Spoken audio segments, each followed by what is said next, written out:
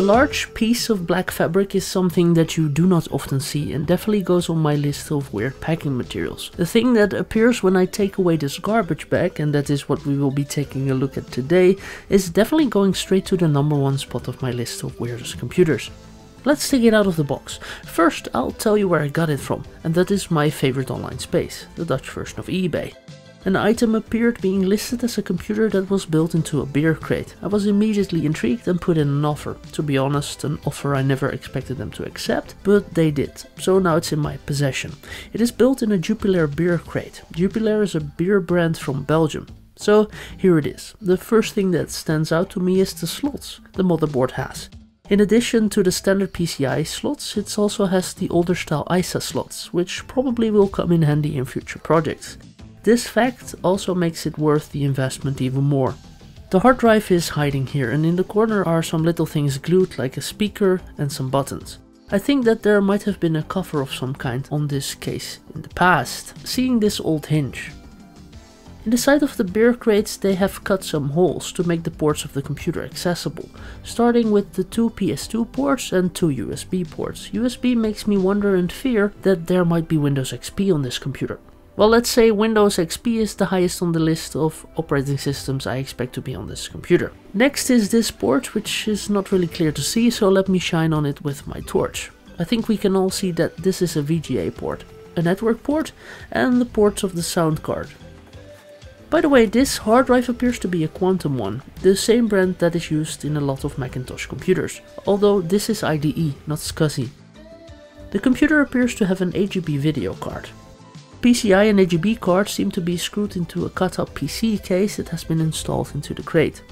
I of course want to do a smoke test and one of my plans is to see if I can connect a CD drive to the motherboard. This one an A-opened 40 speed drive I got from a thrift store a couple days ago for 1 euro. And a couple discs I can try with it, like 11th Hour and Flight Unlimited. Oh yeah, here is the PSU of course, powering it all. Looks surprisingly clean inside, although the motherboard has a little dust on it. I wonder how they got out this part that's inside most beer crates. Looking at the insides, it appears that they took out the whole bottom, as you can see the wooden board on the bottom. On the other side of the crate we find two switches. Very nice clicky switch. Let's move the computer to a desk.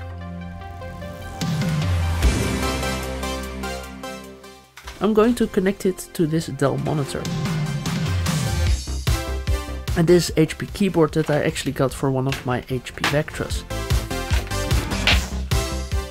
This Microsoft PS2 mouse Let's plug in all the cables, which is a bit tricky in some places on the beer crate.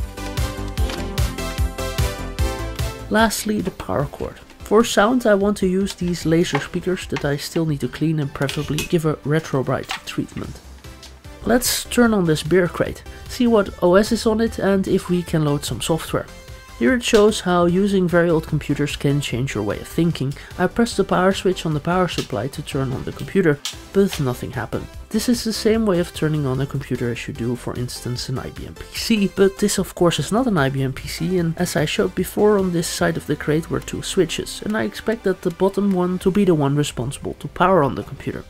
So now let's flick that switch. Yep, as I expected now the fan of the PSU starts spinning up and I can hear the hard drive but then it shuts off. Let's try it one more time.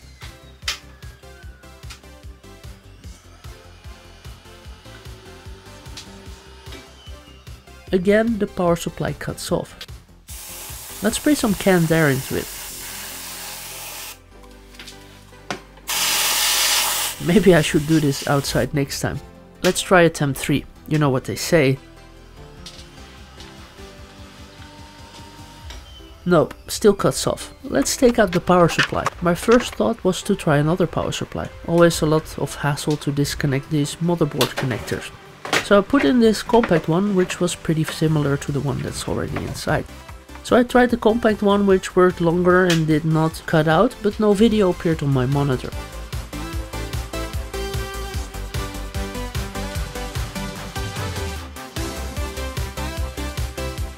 So I took it out again. Uh, let's look at the motherboard. Also gives us a better view of the processor, in this case a Pentium 2. Nothing obviously wrong. Is this one of those boards with the dodgy caps?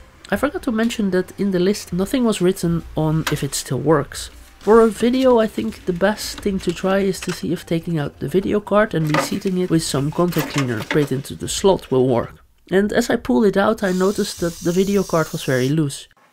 I tried it again with the compact supply, without any results. Next step is to take out the network card. I do not need that and maybe that is preventing the computer from booting. Who knows?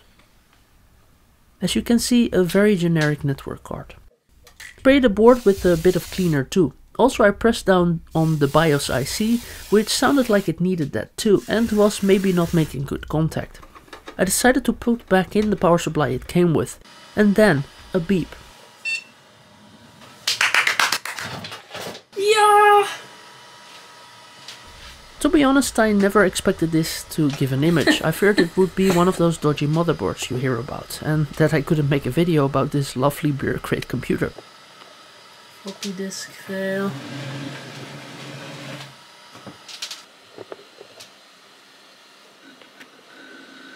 Starting Windows. Nice. Great. It's not Windows XP. Then the computer froze, which of course is not weird seeing all the issues it had until now.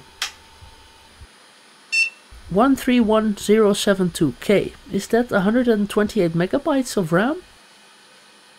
I again it shuts off. I would say this issue might be laying with the power switches on the front. They are a bit dodgy and change orientation sometimes. Left turns it on, other times right turns it on. So I tried a couple more times and got to the Windows 2000 professional screen, which also froze and then shut off.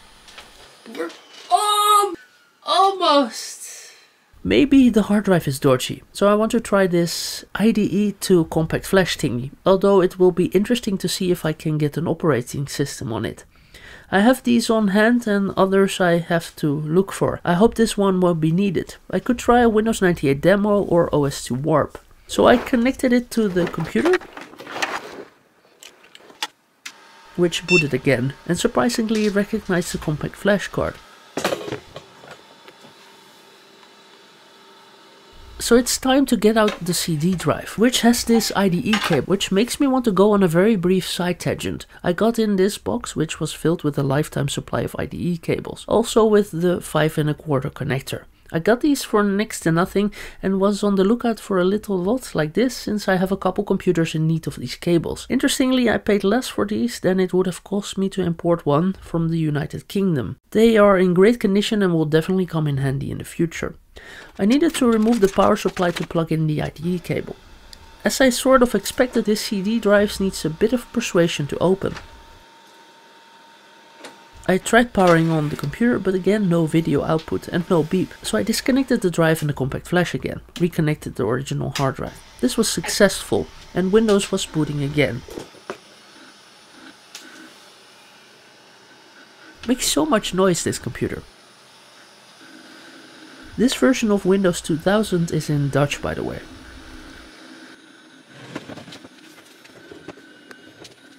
I enjoy the way this looks, a beer crate connected to a monitor.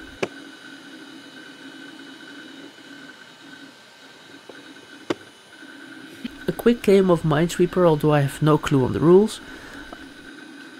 It also had Winamp installed on the hard drive and a weird track file named Eel Llamas. Let's see if we can hear it.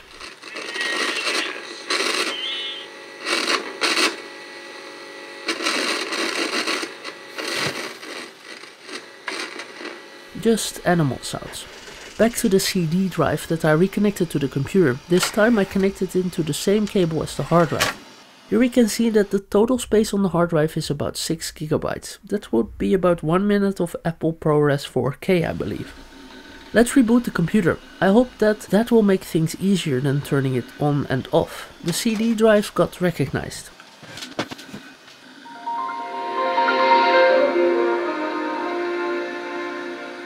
Windows booted and we have sound. This is my favorite startup sound of Microsoft I think. I want to firstly try this game, Ultimate Flight, a war flight simulator. Great, the CD drive drivers are automatically changed. I feared it would be difficult with drivers and stuff. Another reboot was needed for it all to take effect. Booting this computer takes quite a while, I can tell you. This looks like a crate of spare parts that functions. The CD drive spinning up. Let's select install. I really need a crash course in installing sound for these old games. I'm really a retro amateur when it comes to that. I tried multiple things but turns out that the driver you need was not installed. Let's move on to another game. I wanted to try 11th Hour. I've had this title for a while now but not yet got around to trying it, so maybe it will work in this one. Well, I'll cut things short, it didn't. Then I realized that I recently got a title that should work great with this computer. Flight Simulator 98. Yes, even has a label saying designed for Windows NT, so let's put it in.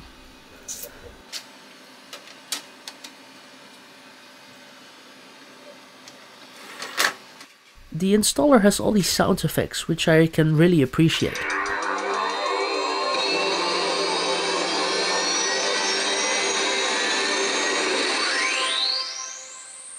Let's see if we can install it. I had to delete some files so I decided to get rid of Microsoft Office Dutch User Interface Pack. Since I don't expect I will be writing my next novel on this computer. Yes, I'm sure.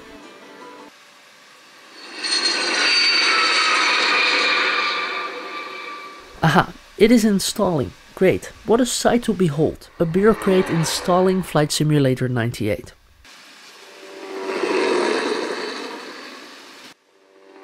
Went quite steady I got to say, looking at the start of this video.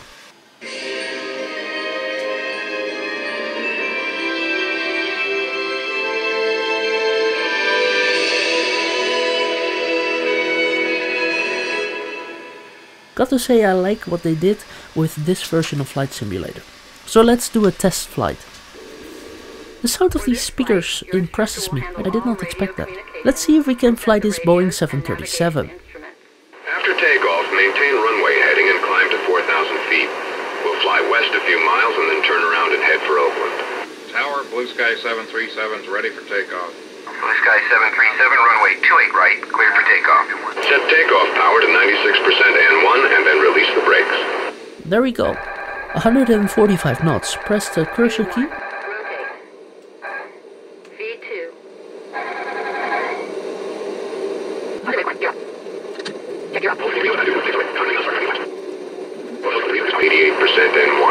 I wasn't sure if I was controlling the plane at first, but then I crashed it, so probably I was.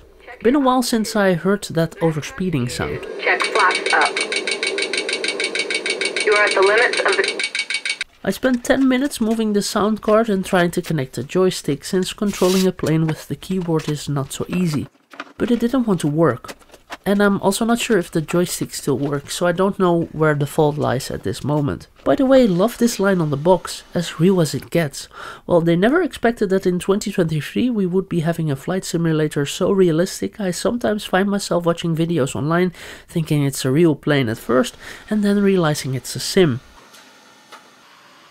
I think we have struggled enough with this beer crate computer. We tried different power supplies, drowned it in contact cleaner and power cycled it about 50 times. I'm quite pleased with the motherboard it came with and am tempted to see what I can do with those ISA slots. Although I feel a bit bad for taking it out of this unique case. I mean crate. I'm tempted to put in a compact flash, but that is for a future video. But for now I'll fly another round and thank you for watching this video.